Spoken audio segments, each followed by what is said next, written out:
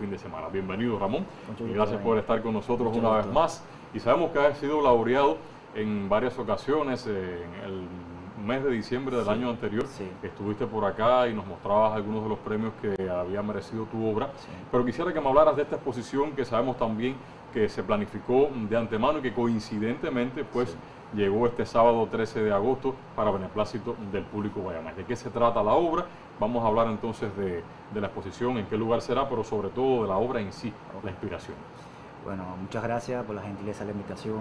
Eh, primero, antes de todo, este, mis condolencias a todas las familias, a todos estos amigos que, de una forma u otra tuvieron estas pérdidas en matanzas por el siniestro, por este infierno que se ha vivido. Y entonces yo sé que hay un gran dolor eh, profundo, no solamente en esa familia, sino en todos los cubanos, en todas las personas que de una forma u otra eh, tenemos esa sensibilidad por lo ocurrido.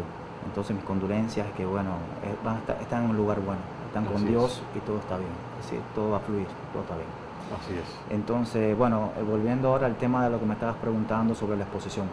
La exposición se llama Un Mundo Mejor. Es decir, yo cuando vine en diciembre del año pasado aquí, este, yo hice, es decir, comenté sobre la exposición que se iba a hacer para, para este año. Entonces se hizo una programación que cayó en agosto, pero bueno, como es como te dice, el segundo sábado de agosto, que sé yo, no, se deja una programación porque hay cosas que se dilatan, se contraen en cuanto a las programaciones y a veces no salen como a veces no las planifican. Entonces, bueno, coincidentemente cayó 13 de agosto, que, bueno, ¿no? Porque es una fecha eh, simbólica, es decir, es el, cumpleaños del compañero Fidel y todo este tipo de, eh, circunstancias que acarrean también todo, todo lo que lleva la fecha, ¿no? Es decir, eh, hay movimientos artísticos, hay movimientos entonces para beneplácito, pues qué bueno que ocurrió en esta fecha, ¿no? Entonces, mi trabajo consiste más bien en un pensamiento crítico con respecto a algunas circunstancias en las que estamos viviendo nosotros como cubanos, como familia, como hijos, como amigos. Es decir, es mi, mi punto de vista, mi criterio, que utilizando el arte como una herramienta llevo a la galería porque bueno, eh, primero me identifico con lo que estoy haciendo y siempre va a haber muchas personas que considero por mis experiencias en otras exposiciones que también van a coincidir en el criterio, ¿no? porque ahí es el sentir nuestro eh, colectivo. colectivo de nuestra familia, de nuestros vecinos, de nuestra comunidad. Entonces, este, yo simplemente, como un cubano más, llevo esta propuesta a la, a la galería para bueno, poner en consideración a todo el público, hacer un medio reflexivo, más que la palabra crítico es un poco complejo, ¿no? es más bien un medio reflexivo para imágenes en pantalla ahí, digamos, de algunas de las obras de algunas de las obras de la, de la, de la exposición. Entonces, es decir, estoy eh, uso al símbolos eh, en ocasiones el ser humano, en otras ocasiones este, voy a eh, utilizo el, el, movimiento este expresionista para tener un poco más de énfasis en el gesto, ¿no? Porque a veces la impronta, la necesidad, la velocidad con que uno lleva la vida no me deja a veces delicada mucho tiempo a un dibujo, sino que voy más a ese gesto, ¿no? Y entonces va fluyendo las cosas, van fluyendo y, y, considero que, que, me ha dado resultado porque me siento identificado con, con, lo que estoy haciendo, ¿no? Los que conocen mi trabajo anteriormente se percatarán que era un poco más hedonista, más eh, buscando más la belleza, ¿no? ese romanticismo en muchas cosas.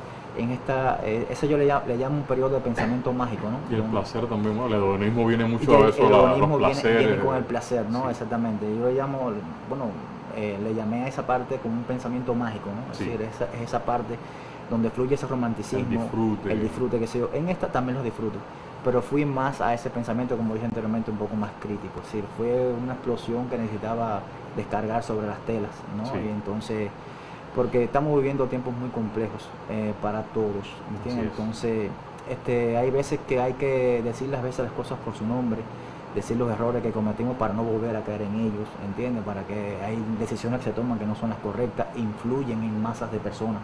Entonces, hay que, hay que pensar de que sin, cambiar de sistema, sin buscar otros eh, eh, eh, horizontes, otros paradigmas, en cuanto hay que también hay que reevaluar muchas cosas que de una forma u otra se están dejando caer o que se da prioridad a otras cosas y entonces hay un fenómeno familiar que sigue fluctuando con las necesidades espirituales que son las que van cayendo.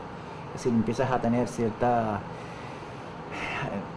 Ya no ves las cosas con el mismo color que lo veías antes. Es decir, entonces por eso inclusive la paleta que utilizo en este tipo de trabajo va más a, a los blancos, a los grises, a los oscuros, porque así es como me siento en muchas ocasiones, ¿entiendes? Así, no esa paleta otoñal o más primaveral como se puede sí, decir. que transmite más eh, alegría. sí, no, estoy más porque estoy, estoy, realmente soy yo el que estoy ahí en ese tipo, en este trabajo. Entonces, bueno, yo lo que invito a, mis compatriotas, a mis amigos, a compartir es un medio, digo, de reflexión, de, de tener un momento eh, para nosotros que el arte se imponga más allá de cualquier teoría política o algo que alguien quiera ver y que se imponga el arte ante todo, que es lo que debe vencer el arte. La fecha rápido y la hora.